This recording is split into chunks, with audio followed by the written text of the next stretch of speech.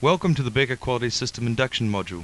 In this module, you will learn about the BECA organisation, the BECA Quality System, your role in the quality system, and how the quality system works to provide benefits to you and our company.